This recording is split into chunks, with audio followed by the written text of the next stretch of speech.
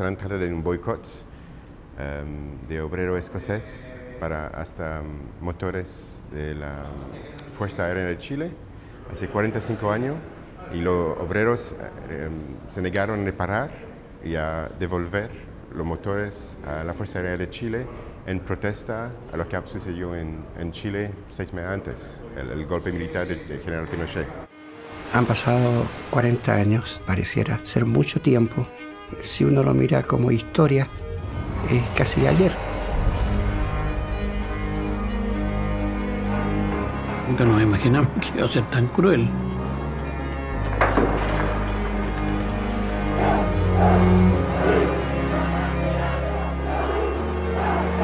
One of the most curious actions is currently taking place in Scotland, where Rolls-Royce workers are letting the engines of Chilean Hawker Hunters rust in the back of the factory. It was a moral stand that was taken. I couldn't support or do anything that would help that type of government. I'm Bob. I'm Bob Fulton, yes. Don't you start with any war stories. Don't start with the war stories. Just a minute. We're going home before 8 o'clock. when I was a kid, we used to go to Solidarity Night. And I remember in Scotland, they always mention the Hawker Hunters stuck in a factory because of a worker's action. The idea to me that somebody had managed to defeat those planes, that was incredible.